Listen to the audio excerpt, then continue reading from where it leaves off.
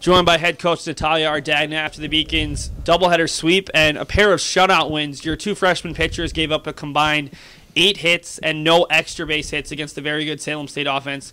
How huge is that when the offense hasn't been doing that well the last couple games to see your pitchers pitching as well as they did today?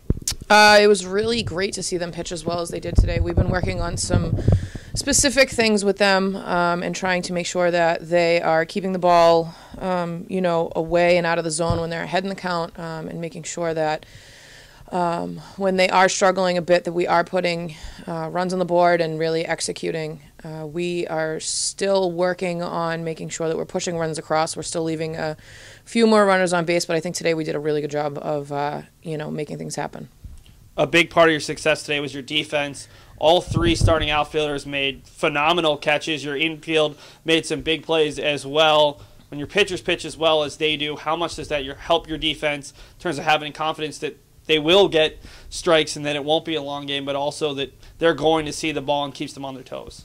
I think from start to finish, they were very relaxed. Um, they, you know, were really confident in what they were doing. They had really strong intentions and they were very focused and they knew exactly what the game plan was and they managed to execute it. And I think that that helps defensively. Um, it doesn't have there's not so much for them to think about. There's more of just reaction and just enjoying the whole process instead of you know being tight and, and making errors or thinking too much about things. And I think, you know, offensively and defensively, I think that really showed. And I think that helps, you know, the pitchers definitely know that if the defense is on their game, that if the pitchers, you know, kind of waver a bit, that the defense will definitely pick them up.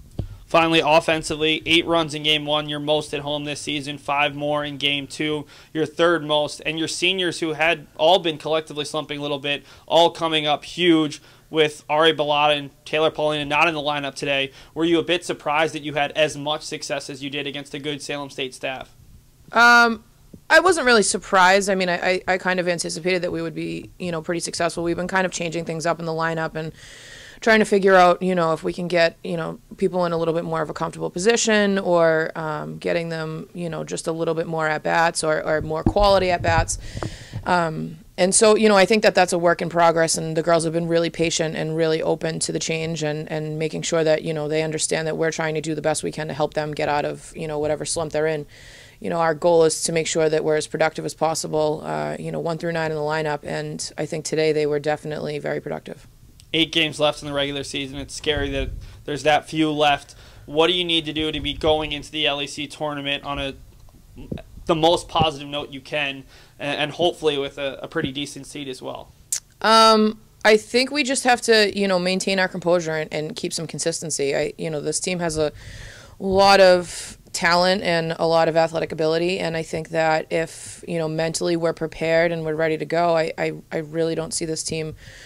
Um, you know, struggling as much as we have in the past, especially in the postseason. So, you know, we just have to make sure that we're tweaking little things and, and making adjustments when we need to make adjustments and recovering quickly. Um, and I think that we'll be all right. Thanks so much for your time, Coach. The Beacons head to Rhode Island College on Saturday. Thanks.